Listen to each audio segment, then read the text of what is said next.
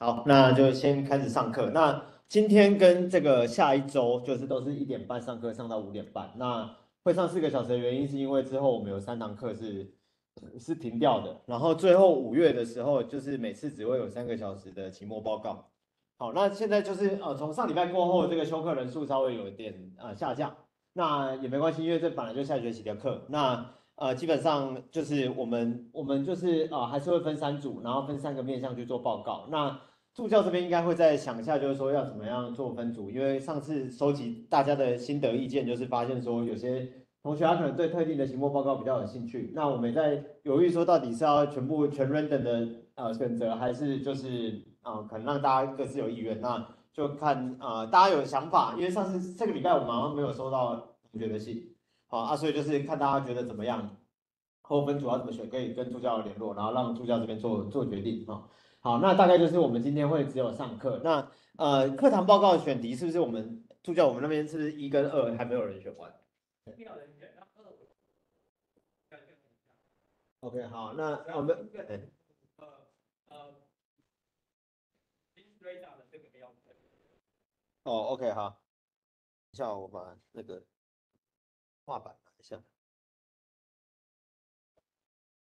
对，那如如果有人，哎，因为现在我现在最新到现在为止的修课资讯是十四个人，哎，那所以我们有十五个题目。那如果有人想要，呃，直接认领第二个题目，把那个分数拿满的，也可以直接先跟助教登记哦。因为看起来就下礼拜，如果这礼拜没认领，我们应该下礼拜不太可能有人有人可以突然报告哦。那就是如果有人想要直接把啊断电的，哎，需要我的卡吗？就对半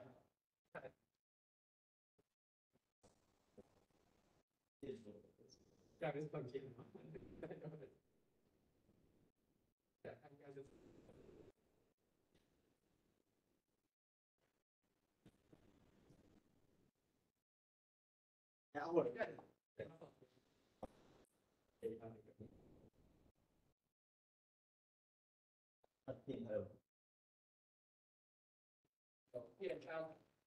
然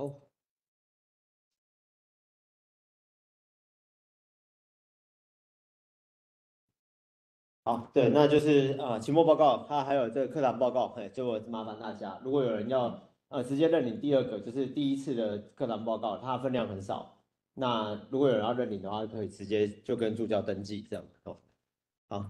，Hello，然后今天很冷，我今天呃本来都通常都会带太太跟小孩来台北，但是因为今天太冷，怕他们感冒，所以就没有来。所以今天真的蛮冷。那如果你真的很冷，想要回去线上也没关系，就跟助教讲一下就好。好。然后大概就是呃我们课堂的时程哦，好，那我们就进到今天的课程。那我知道这学期，因为我们这学期人出，哎，电灯又关，啊，就继续好，我继续哈，反正这个店还有啊，那就是这学期的人可能没有那么多，那我们就是嗯，我知道有些同学他可能上个学期已经有修过课了，但是因为还是有几位同学没有修过课，所以我们在这个下学期的课程通通常都还会来介绍呃复习一下，就是上。上学期的课程一些比较必要的概念，然后让同学可以呃比较呃方便衔接这学期的课程。好，那所以你如果上学期有听过的，这边就轻松听就好。那如果上学期你没有上过课的，也不用担心，因为大概这学期会用到一些基本概念，其实就是啊在我们接下来的这个时间里面会做介绍啊。那那个其实这学期课就是可能大家对于这个我们课名叫做演算法设计。那其实演算法设计，我这边可能听了上学期呃上个礼拜同学的意见之后，其实我有几个要跟大家分享，就是说其实演算法设计，其实说真的，你要教大家说什么哦，我哪件事情一定要数学方程式怎么写，equation 怎么写，那个其实是 case by case 啊，那个很难在一个课里面去去做一个就是一个啊，比如说一个数学的推演。那我相信，如果像大家去修那个电子所陈和林老师的演算法设计，他其实大概也是会跟你讲说，有一些 common 的 sense，比如说什么呃什么一些 sort sorting，或者是呃你要做什么样的什么 tree search 的时候的主要的那些共通性的核心概念是什么？那我们这边呢，就是在这堂课，尤其是像这种呃通讯的 DSP 或者是 data process 相关的课，其实我们呃我们这种所谓的 case by case 的演算法设计，其实我们就是留给同学在。期末考的时候，你根据你所看到的文献，你根据你所看到的文献，你可以去讲出一些，就是说，哎，有什么事情，其实它的运算的过程或者是逻辑大概是长什么样子。哎，你可以拿那个拿那个拿那个消防栓把门挡起来就可以。好，然后所以在其实，在演算法设计的课程里面，因为我们的课是在相控阵列雷达上。所以其实我觉得大家要去听这个课的概念，不是去执着在那个数学是应该怎么样，其实你应该是去执着说，如果你今天遇到什么样的物理上的意义哦，比如说物理上的限制，或者是你可以把一件物理上的限制写成一个 design constraint，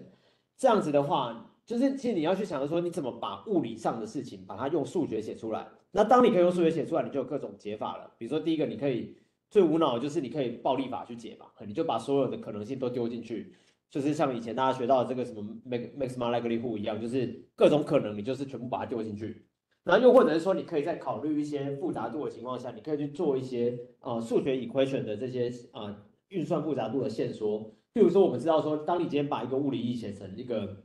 equation 之后，这 equation 里面就有乘法跟加法。那乘法跟加法，它其实就是会对应到数位电路上面的这些乘法器、加法器，然后一些 max。好，那你要怎么样去把这些的数学的这个运算运算符符号，让它的呃个数可以变低？好，那其实这个是在演算法设计里面的一个很重要在实作上的一个环节。那如果我我的理解是说，在我们学校里面课有开的，就是像呃电子通常会开电子锁，像是什么数位讯号什么架构设计之类的，应该今天好像是杨家香老师开的。那之前好像简朝义老师有开。好，那诸如像那一种的课，就是你可以在。啊，那上面看到说一些 digital signal processing 的技巧，就比如说举个例，最简单的就是这个 FFT，可能是大家最常见的这个快速物理的转换。那快速物理的转换它为什么叫快速呢？因为它其实就是相较于你在课本上面学到 DFT，它会运用一些这个在 Explorer 上面的一些特性，它可以有一些快速演算法。那快速演算法其实也不只有一种，它是有很多种。哦，那所以我们在这个课里面要学到，就是说从雷达的这个讯号和资料的概念出发。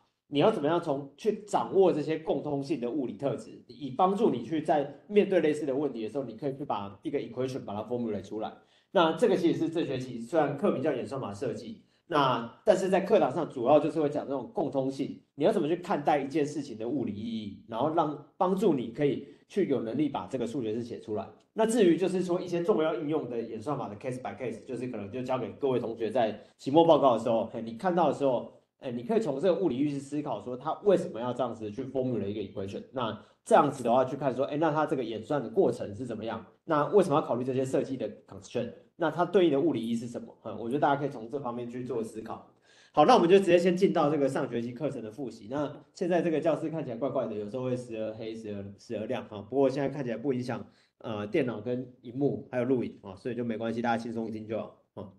好。那呃，第一个部分就是说，先帮大家复习一下，我们这一门课相控阵列雷达的演算法设计。其实，呃，我们目标是什么？其实我们目标不外乎就是说，你今天有一个相控阵列雷达，你要侦测到一个目标物，那你要得到什么资讯？你其实现在要得到，以我们这堂课里面所会讲的，就是你不外乎就是要得到这个目标物在三维空间中的坐标资讯，好。那除了坐标资讯以外呢，还有一个就是说，这个三维空间中，这个目目标，它如果是移动的目标，那它多快，它速度是多少？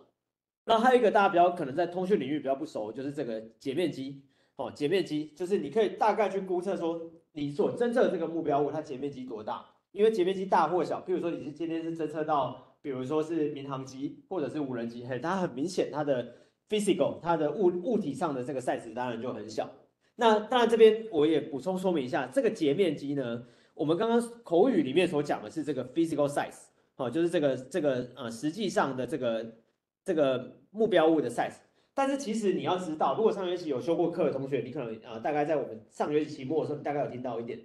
这个截面积其实是很难去掌握的，因为我们现在方便讲话起见，就是说，哎，你今天有一个实体上的这个呃，比如说这个门，它的面积是多大，哦。但是其实呢，你的目标物接接收到你的电磁波，你的电磁波是有不同的高频段、低频段的电磁波嘛？然后你的这个截面积，就目标目标物上面的这个截面积，它上面的材质其实也是不一样的。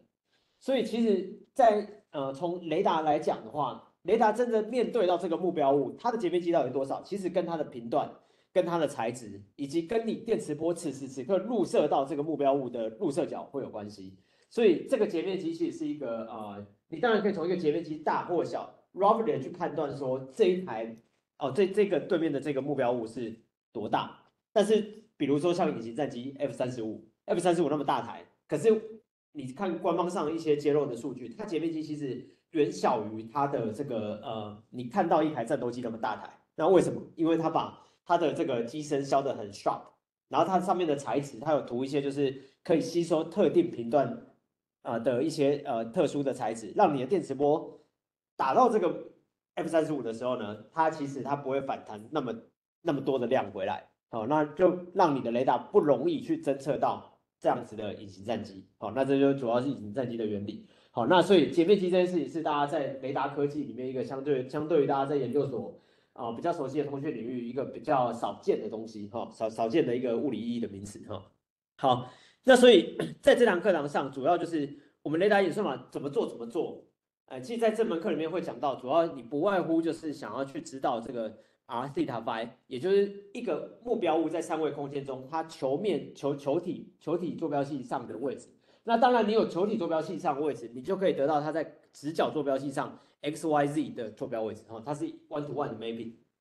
那还有一个两个另外标出来就是这个镜像速度跟这个截面积。那截面积刚刚讲过，那镜像速度呢？它其实你如果对应到直角坐标系上面的话，它可以分别在 x y z 轴都有它的这个所谓的速度分量。好，那所以就是我这边会用 v x v y v z 来表示。好，那当然因为我们这堂课主要是从相控阵列雷达出发。你如果说今天有门课，像是比如说合成孔径雷达，像我知道像中央大学的蔡培云教授，他有开类似合成孔径雷达的课。那合成孔径雷达呢，它就跟呃，它也是相控阵列雷达的一一的一种，只是说它的目标是从是说从呃，因为相控那个合成孔径雷达，它通常都在卫星上面，它会透过电磁波朝地面上面去做呃发电磁波朝地面做发射，然后透过电磁波反射回来去做地面的成像。好，那那方面的领域其实也是有蛮多的这个探讨的空间，也是值得啊上下学习的课程的大概这样子的分量。那其实，在我们的雷达教科书里面都有写，就是它教科书里面都有合成孔径雷达的这个相关的章节，大家有兴趣可以去看。但是我们这门课主要是会在一般的相控阵列雷达，像是你看到军用的相控阵列雷达，譬如说呃那个神盾级战舰上面的。相控阵列雷达，或者是这个战斗机上面的这个 F 十六、F 三十五上面那个机机头前面的那个相控阵列雷达，去侦测到一个呃目标物在三维空间中的位置，以及它的速度和截面积为主的这样的课程内容。好，那呃之前的课程里面也有一些同学，我们也开放就是从合成孔径雷达的的这个领域去做一些题目报告探讨。那只是刚好呃我这学期在选这个期末报告的选题的时候，没有没有把它放进去，嘿。因为我们的选题，我记得就是，诶，也帮大家复习一下，就是我们三个题目，大家可以想一下，就是第一个就是雷达上的 AI 应用嘛，那第二个就是跟六 G 有关系的这个 Integrated Sensing and Communication 啊，就是怎么结合，啊，我们 Sensing 这边我们会从雷达出发，哈，就是说你从你怎么结合雷达跟通讯做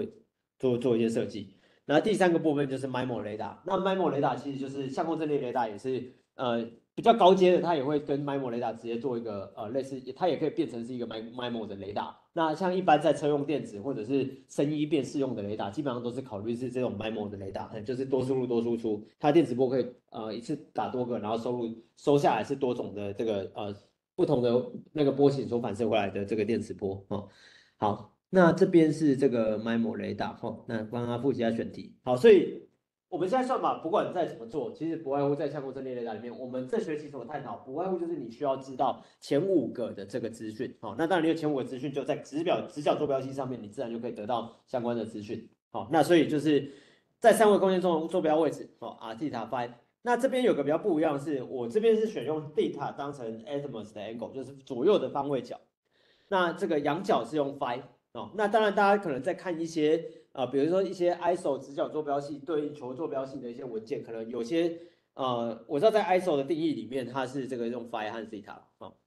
那我个人这边是有点我个人的 prefer，就是我习惯 Atmos 是用 theta，因为我觉得 theta 中间有一个有有一个有一横，那 phi 呢就是刚好从上到下哦，所以我个人的习惯是倾向于用 theta 跟 phi 啊。但是你在 wiki 上面去看这个球体坐标系的时候啊，在 ISO 就 ISO 定义里面其实是 r phi theta 啊。教科书上面两种定义都都有使用哦啊，我个人的倾向是用 theta 跟 phi，就是横的跟跟直的，刚好代表左右跟上下啊。那一般如果在课堂课堂上面没有额外讲的话呢，就是 range 基本上都是用公尺为单位。那公尺为单位，我相信大家应该会有一个 sense，就是因为一般电磁波在空气中传递，我们假设它是光速，那光速你一般会说我有假 approximate to 这个三乘十的八次方 meter per second。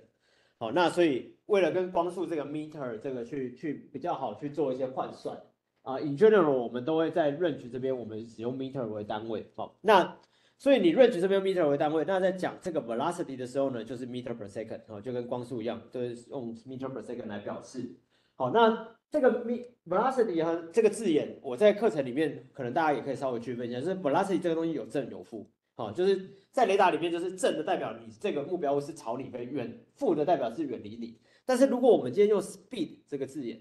哦，speed 这个字眼，它就是没有正负了。哦，就是我们我们在我在英文单词上的这个区分上，好，就 speed 代表就是它没有正负，就是你今天是你的 velocity 是负二十或者是正二十，它在 speed 上面都统称叫做二十。哦，那这个是两个不同的这个。啊，可能在英文字典里面你翻译起来中文都一样，但是在用法上面啊，我们是倾向于这样子去做使用和表示啊，那应该也比较符合日常大家会遇到的一些 case。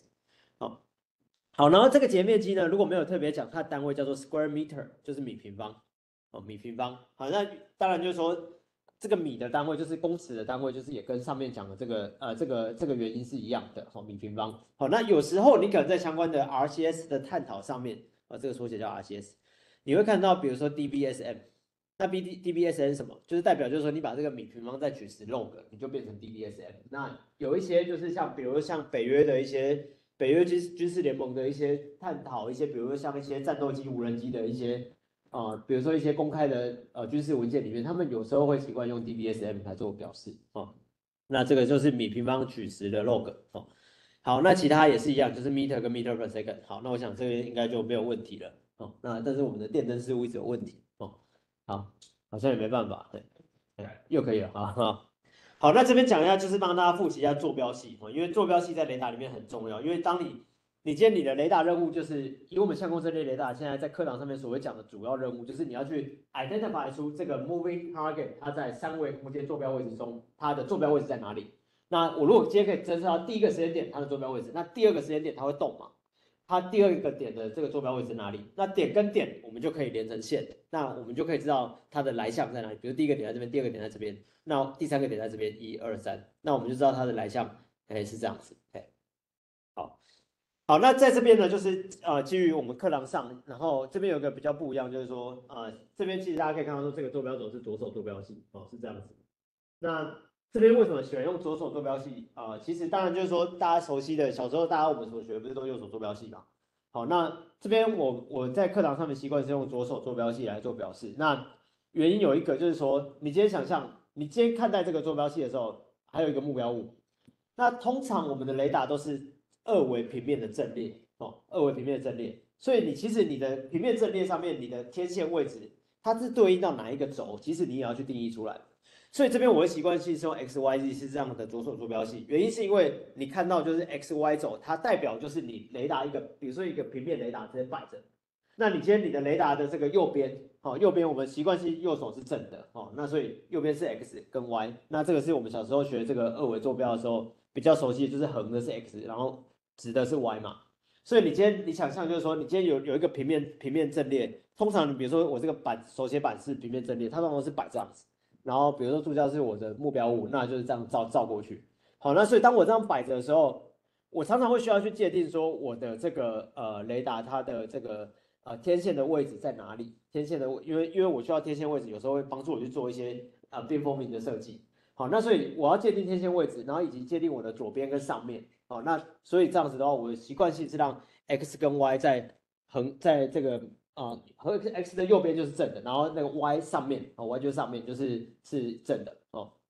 因为我们雷达一般都是向上看的，那你如果是那个合合成孔径雷达，它就从那个卫星上面往下看。哦，所以现在我们考虑的这个相控阵列雷达，一般不管你是摆在军舰上，或者是啊海上啊不或者陆地上，通常是向上看的。那当然你如果是战斗机端，就是又是向下看。哦，那所以这边这边的话，我们现在假设你现在就是摆在陆地上，哦，那你就是用 x y 这样一个平面看出去。好，那所以正前方呢看出去就是 z，哦，就是 z 轴。那这样的话就变成是一个大家比较呃不一样的这个左手坐标系啊。那刚刚这个 theta 跟 phi 也有先跟大家介绍，就是我们习惯性用方位角代表，呃用 theta 来表示，然后仰角用 phi 来来做表示哈。那这边大家看到就是说，刚刚有讲到，就是这个 velocity 正为负。一般来讲，我们雷达侦测一个目标物，目标物朝着你雷达飞，你的 velocity 是正的。那远离的话是负的哦。那还有一个截面积，截面积就是这个 sigma。好，那在雷达里面一般是用 sigma 这个符号来做表示。那这边有时候是在讲，像去呃上个学期我们在讲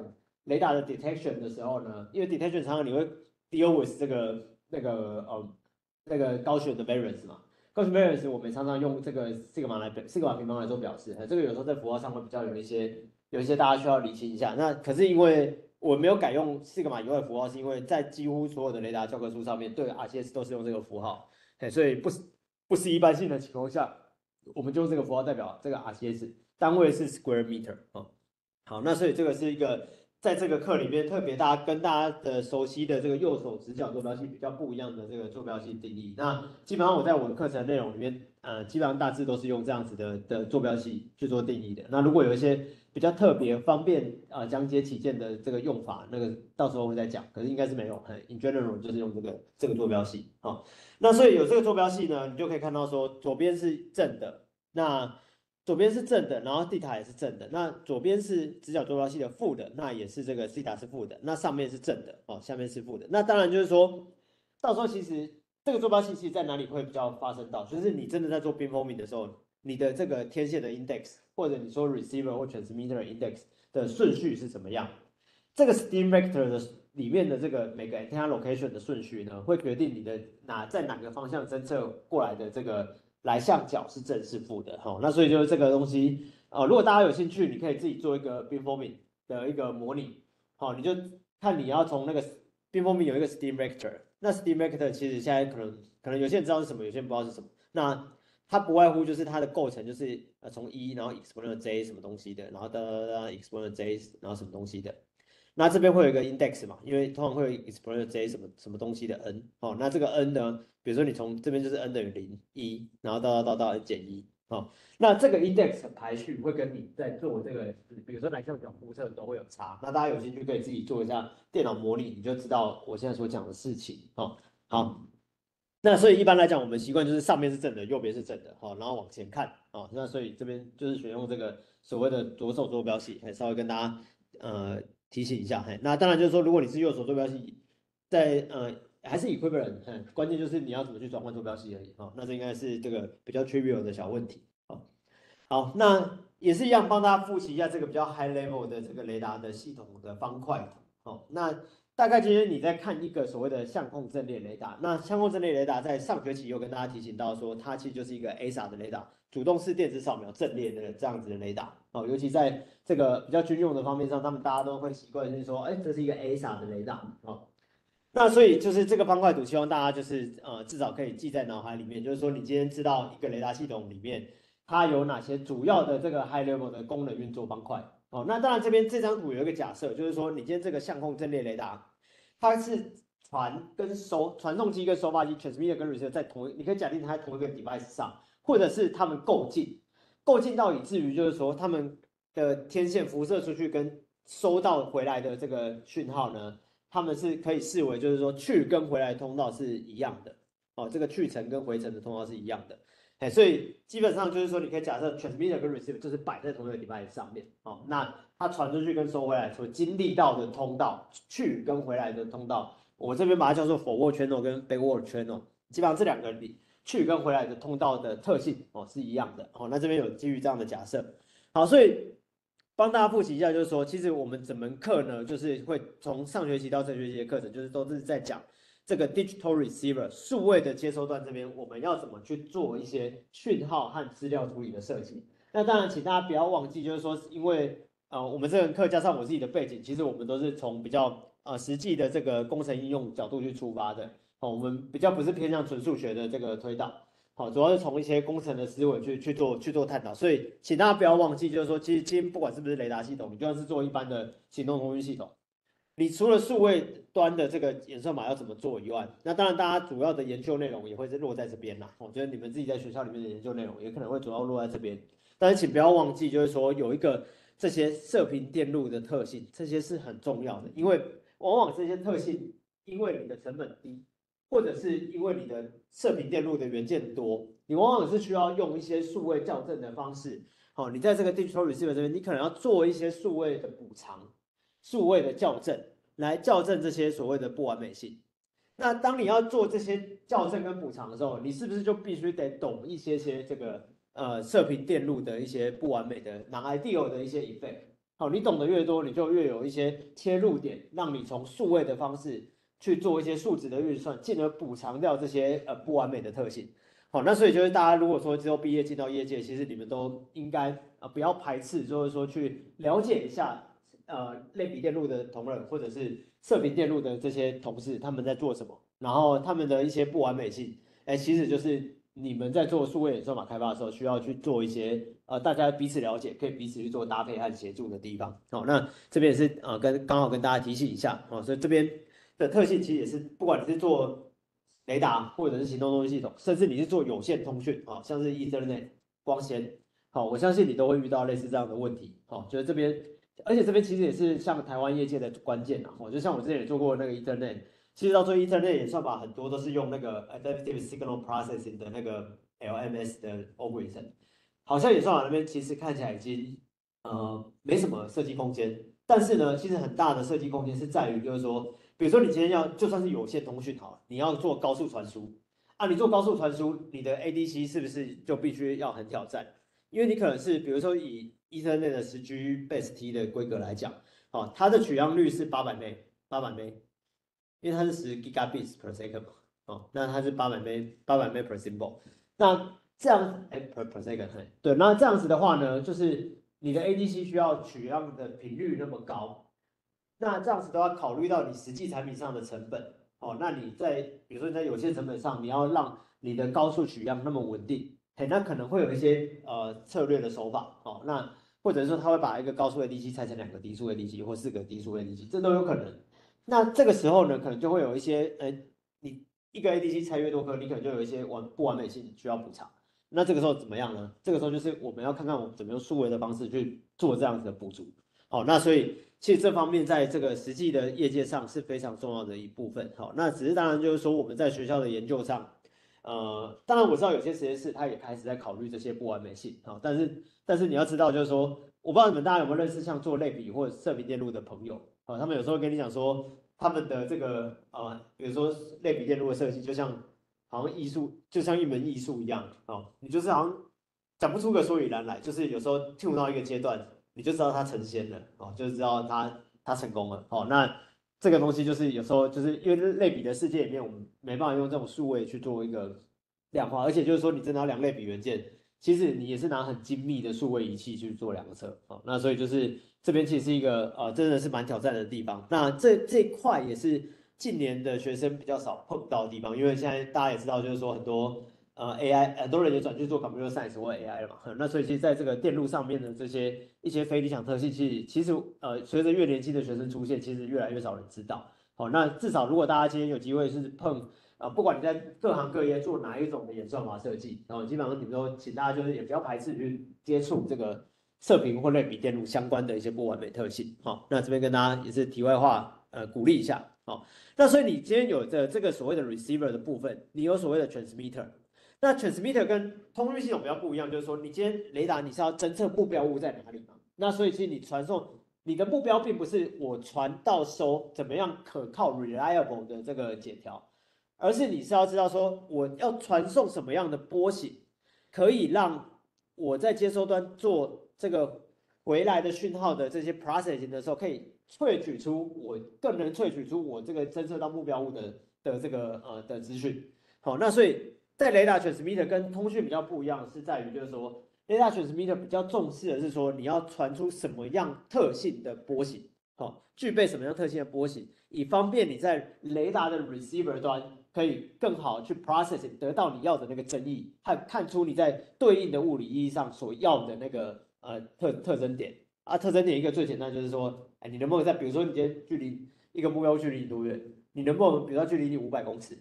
那你是不是在接收端的时候考虑这个电磁波跟光速之传递一样，在空气中传递的速度跟光速三的乘十的八次方？然后呢，你知道什么时候去传出去的，啊是过了多久回来，哎，那你有速度有时间，你是不是就可以换算出说这个目标跟你的距离在哪里？好，可是你要在换算的过程中，你可能会发现说，哎，那你波形设计是不是有一些特性，你可以做设计，帮助你更能够把这个要换算距离的那个 signal peak 把它抓出来，然后把那个 noise 的 flow 把它压低，让你更有更高的获蓝率，可以抓到那个 signal peak。好，那这个其实就是你要怎么去设计那个呃波形波形。好，那这个当然就是在我们的 lecture 二会讲到。然后呃，或许大家可能还有一些质疑，就是说我再讲一个比较具体的，如果你今天有一个你传输的波形就是一个方波，那你今天回来的时候也是一个方波。好，那假设我今天做就是做 mesh filter，大家在这个啊通讯系统里面学到的，那你方波取 conjugate 再取 flip 哦，然后跟它做还是一样是方波，方波跟方波考波路学完之后是三角波。好，啊三角波你要萃取这个 peak，哎现在照这张图看起来好像很简单。但是你要考虑到你接收端的时候，其实你会收到一些干扰或者是一些 noise，所以当 noise 叠上去的时候，哎，你说 peak，你这边根本就你也分辨不出 peak 是在这一点还是这一点还是这一点还是这一点，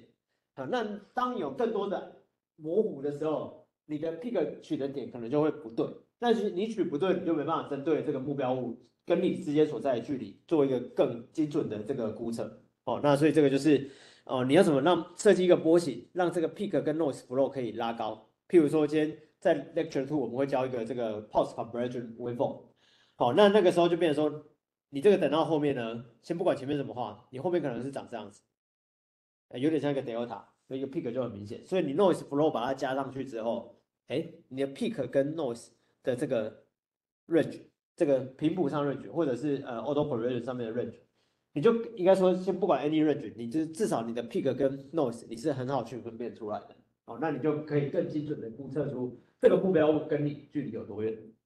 所以雷达的这个呃 transmitter 重点就是在这个波形要怎么做设计。好，那当然就是说你设计完在数位上面做完设计之后，你一样会经过类比元件、射频元件，然后把它把讯号放到被动天线里面，把它辐射出去。哦，那所以这边的 phase array antenna 基本上 transmitter 跟 receiver 是共用的。哦，那就是在这个图里面是这样画。所以这边主要就是雷达的 transceiver 收发机，哦，就是当然我们是假设传跟收在同一个 device 上面。那这个方块图是一个很 high level 的方块图，大家需要知道有这些事情，哈。那环境的部分呢，刚刚也有先讲了，就是去跟回来它共享一样的通道的特性。那雷达的这个系统呢，它关键什么？就是它侦测这个目标物，啊。那这边就是把它归属于是呃 object，哦，就是目标物的类别。那当然，在环境中有你所感兴趣的目标物，也有一大堆你所不感兴趣的，我们统称叫做杂波。好，比如说你今天要侦测一台飞机，但是你的电磁波打出去之后，你可能会撞到高楼大厦，你可能会电磁波也会碰到地板，好啊，或者碰到云层，或碰到树木，或碰到海，它们都会反射电磁波回来。那你在你所收到的东西里面，你要知道，你除了你的电磁波碰到目标物反射回来的那个那个回波以外，你还有一大堆回波是来自环境中四面八方你不感兴趣的目标物，好，那这个东西都统称叫做 clutter。那一样这边还是有个英文小教室，clutter 是不可数名词，哦，所以不能加 s，哦，不能加 s。啊，target 是可数名词，可以加 s，哦，这个是啊，我自己在写这个雷达相关的这个英文文件的时候有探讨过的，哦，就是它 clutter 记得它是不可数名词，啊，所以你今天如果说你要讲说呃 clutter 你要表明很多个，你可能就要讲 clutter signals。啊，或者是 clutter values 啊，这之类的啊。好，那所以就是 target 跟 clutter 这两个字眼会区分开来，就是一个是你感兴趣的目标物，一个就是凡是你不感兴趣的都统称叫做杂波。那但是很不幸的，在雷达里面最最最痛苦就是杂波总是很多。哎，那可能这个杂波就有点像是大家在做通讯系统里面。会觉得说，呃，有时候那些 interference 我掌握不了，比如说什么其他基地台又干扰我，然后什么 WiFi 讯号也干扰我，然后什么谁谁谁旁边有一个雷达也在那边干扰我，哦，那 interference 通讯里面通常最最难最难搞的就是这个 interference，哦，那在雷达里面最难搞的，哦，其实就是通常都是这个 clutter，哦，因为在你在感测这个整个我们的真实世界里面，哦，那这个。你在感用你用电磁波在做感测过程中，一定是有一大堆是从你不感兴趣的，包括墙壁啊，什么东西都反射回来给我。好，那我要怎么萃取出这个我真正所要的 target 的资讯？哦，这个就是在雷达系统里面最一个啊最最最难搞的一个地方一个点。哦，好，那当然除了这个去跟回来撞到目标物的这个过程以外，有时候你的雷达会受到干扰，好，会收到 jammer，会收到 jamming signal。那干扰是什么？比如说你今天你有一个雷达工作站，那你的敌敌方当然知道你有没有雷达工作站，他就会朝你打一些雷达干打一些电磁波干扰讯号啊。因为为什么？因为它瘫痪瘫痪你的雷达的 receiver，让你的雷达看不到真正你要看的目标物。好，那这个有很多种方法嘛，一种就是它这个 jam jammer 它可以 jammer 就是那种乱搅啊干扰的意思，就果酱那种搅的意思。哈，那它就是它要怎么做？它要么就是它打一个很强的讯号，把你的雷达 receiver 直接让你的被 noise 所淹满，所以你的 noise flow 整个上升到很高的时候，你的那个 target signal 可能就看不到了，这是一种做法。那甚至就是在电子作战中，你的 jammer 也有可能是打出所谓的假讯号，哦，他会去做一些假的这种呃目标物讯号，让你雷达看到你在雷达屏幕上，你可能看到说哇好多的目标物，但是其实它根本都是假讯号。那为了要扰乱你雷达对实际真正有效的目标物的侦测，哦，那所以这个是 jammer。那所以 jammer 呢，它是单向的朝雷达这边去做讯号的，呃，用讯号去做干扰。那所以这边我们的第一个术语叫做 interference channel。好，那所以这边是单向的，就以去去去程回来。那你雷达打出去的讯号和接收到回波就是去跟回啊，是双向啊。那有几个要补充，我就是最下面这几个，因为你在这里做一套真正的雷达系统，你雷达系统做完，你一定是要让使用者用嘛。那你当然就是要有图所谓的图形化界面要去使用，因为啊，任何使用者哈，或者是尤其军方单位的，你当然需要有这个使用者界面，让阿兵哥可以好好去使用。好，那在技术上面呢，还有几个需要大家注意的，就是。第一个就是 resource scheduler，它指的就是说，你今天雷达在做，因为你要打电磁波做做做扫描嘛，你一定会对一个你所感兴趣的区块做扫描。那你要怎么去分配你这些扫描的资源？比如说我哪个区块要扫的比较多多次，然后哪些区块我需要花比较长的时间去扫描，因为它可能比如说比较远，那我的讯号可能要打比较长一点，好，因为不然我能量没办法足够啊，好，那这样子的话，我扫描时间要怎么分配？哦，雷达的 resource schedule 主要就是从这方面去做下手。我怎么在，比如说我今天给第一个扫描区块，我一秒内就要完成任务，那我是不是我这一秒内我的这个扫描，我的边缝的宽度，或者是我的这个所有的这个啊，比如说我近跟远的距离，我要怎么配置我讯号的长度？好，那这个东西就是在雷达 resource schedule 里面需要去做的。那当然就是随着现在雷达的科技越来越进步。像我们像大家在呃礼拜五的课程上面所学到这个最佳化，好最佳化的这个相关的概念，它其实是可以很多用在雷达系统上，像是你刚刚看到这个 resource scheduler，比如说你今天 given 一些啊 constraint 之后，我要怎么说？我先所设计的讯号的，比如说讯号的长度，或者是什么像讯号的 format，它可以最佳的去 meet 我所设计的这个需求，好，那你就可以用到你在课堂上面所学到这个最佳化相关的知识。那以及呢，你要怎么样去设计一个所谓的最佳的波形，以满足你在针对任何的目标所侦测的一些特定的一个呃特定的这个呃那个呃特性，你想要拥有。那你如果可以把这些物理意义写成 design constraint，你就可以带入这个我们在课堂上面所学到这个最佳化去做雷达的设计。那我觉得这个也是雷达跟呃，可能大家比较习惯知道的行动通讯系统比较不一样的地方，就是因为雷达系统它基本上是自成一家啦。那通讯系统你要要么就是八零二点一 WiFi，或者是四 G、五 G、六 G 这些在三 GPP 所定义的规格下，那基本上在这些规格下的定义下，你的这个呃设计空间可能相对就不是那么大。那雷达你可以看到说，就是在整个画面这个方块图啊，它其实就是自成一家的系统。所以尤其是 transmitter 跟 receiver 是在同一个 device 上面，所以你 receiver 其实知道你 transmitter 在干嘛。好，那这样其实你就是有一些最佳化的内容，你就可以来使用。好，因为你像一般通讯系统，就是你你其实你要假你 receiver 要假设你不知道 transmitter 在干嘛嘛，哎啊，但是在雷达不一样啊，雷达你可以 receiver 你是知道你的 transmitter 在干嘛的。好，那所以有很多的设计空间可以用到最佳化。那当然就是说近年来就随着这种感测资料，因为感测资料其实相对通讯资料可能就比较不一样，因为通讯我们是要点对点可靠的传送嘛。那这种雷达属于 sensor 的一种。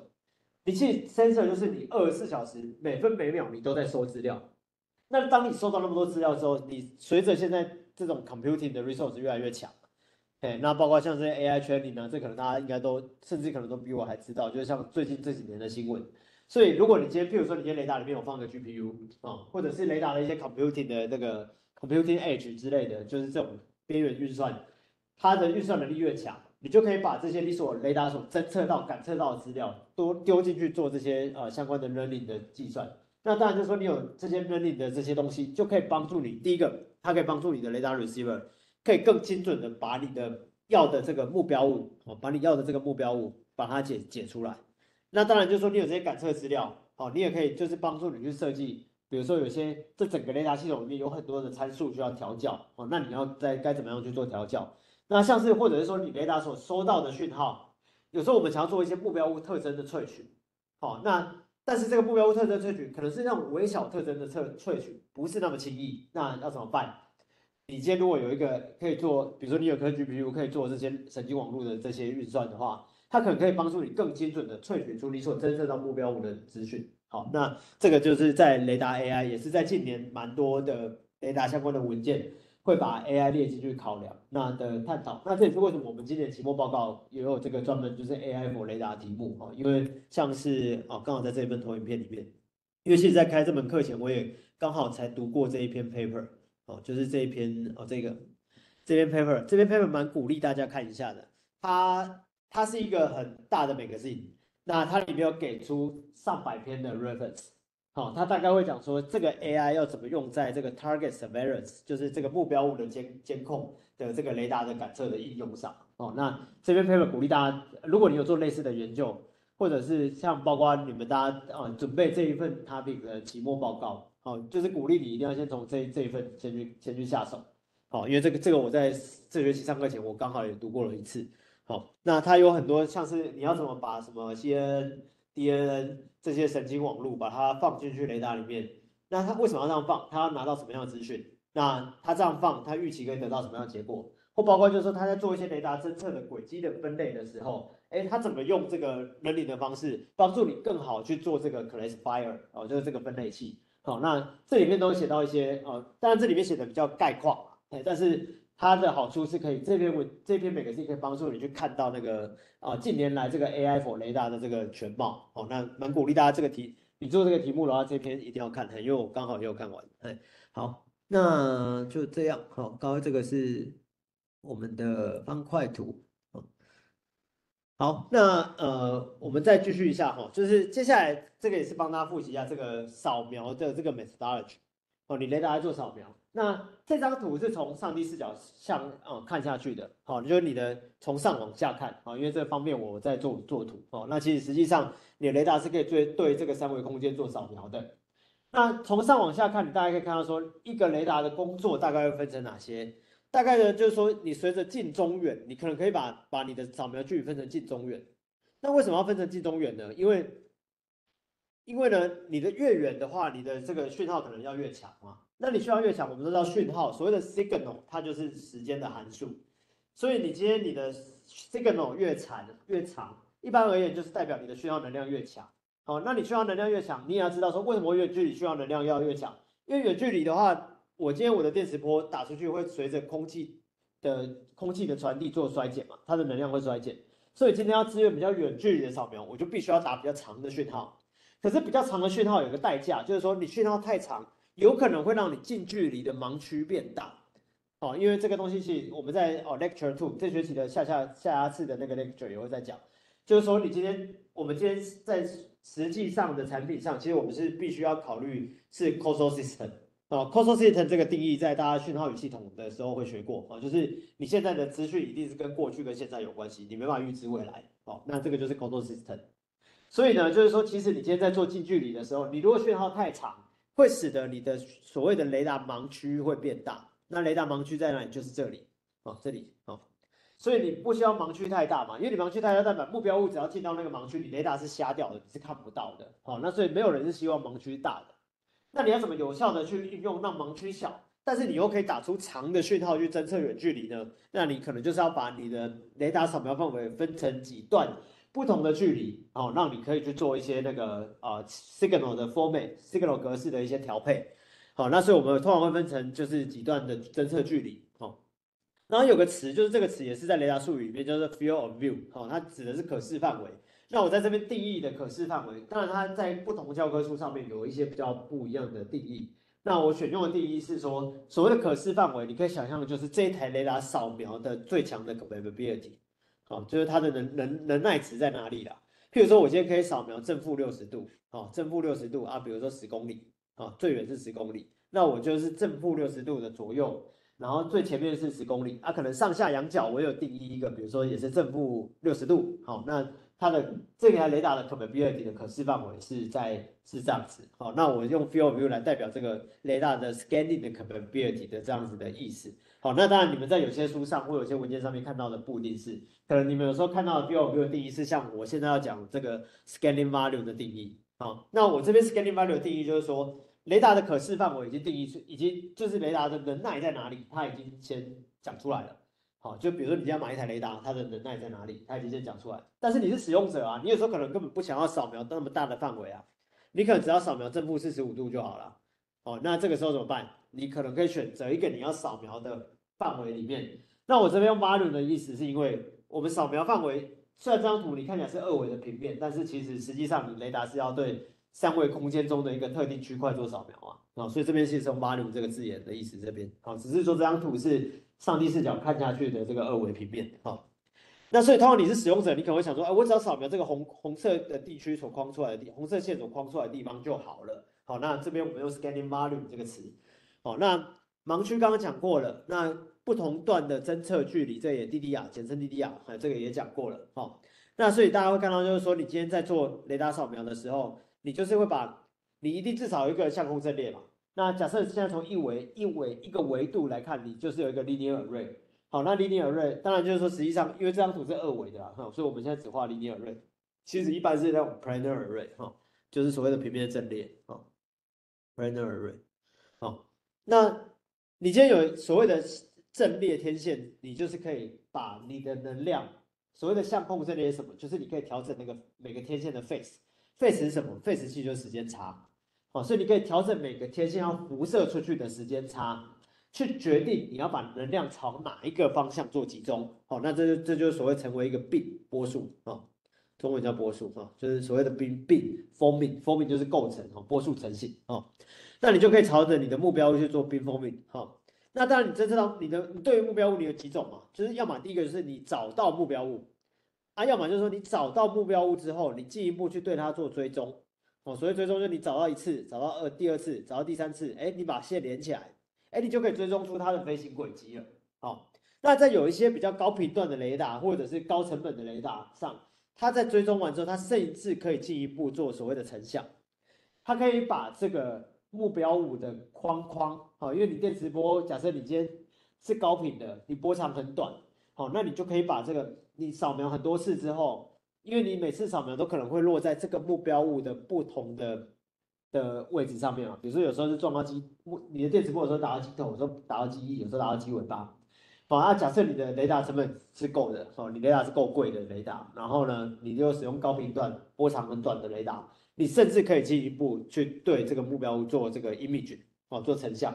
好，那当然就是说，像如果像那个卫星中的合成孔径雷达，它其实不外乎也是在用这种。呃，因为现在卫星上的东西都一定是很贵了，嗯，哦，那所以既然那么贵的东西，你今天就是代表你有那个能力，你的频段够高，你的功率也够大，哦，那你可以就是去对这个你所侦测到目标物做这个成像，好，那你如果是放在地面上的一般这种 phased array 雷达，它其实也可以，哦，只要你够高够高级，好，然后你功率够够大啊，你的这个你功率够大，为什么？因为你你你的那个频带很高啊。啊，频带很高，你的电磁波在空气中衰减很快嘛？啊，衰减快怎么办？你一定要全身 power 要够大嘛？好，那这样子的话，你甚至可以去做一些 image。好，那在我们这上下学的课不会讲到这个 image，哦，就主要是讲这个你要怎么 detect 到目标物，然后以及看这学期最后有没有机会再讲到一些 tracking 的概念。好，那这个上学上上去年在开这个课时候没准备到，然后今年希望有机会可以再讲到一些些。好，好，那大概是这样，就是有几个名词，就大家知道一下：field view、scanning volume，然后 detection distance range，还有这个所谓的盲区 blind zone，还有这个什么啊冰缝啊冰缝，这大家应该就比较熟悉了。好，那这个是一个扫描的盖棺图。那当然就是说，在这个扫描盖棺图上面，你要怎么去做这些扫描的排程？哦，那这就是根据你的你这台雷达所现在所要所收到的使用者任务，哎，你可能要去做决定。那举例来说，再举一个例，比如说这边如果有个塔台。哦，你可能你的 scanning value 不想要包括这个塔台，那你 scanning value 可能要画两块出来，啊，因为你比如说这边有一个塔台，比如说机场的航台，他不想要受到无谓跟直播的干的干扰，哦，那你的 scaling value 可能就变成这一段到这一段和这一段，好，那这个要怎么定义，就看你使用者使用者的任务是什么，然后这台雷达让使用者可以去做一些呃图形化界面的操作和定义，就可以做类似这样的工作。那从工程的角度来讲，就是其实你就是要去决定说，比如说你今天你的 scaling value 变小了，那请问你的 signal 的格式需不需要变动？因为其实你没你不需要扫描那么大的范围啊，那你是不是可以把有限的时间资源投入在这个这两个你仅剩的 scaling value 里面？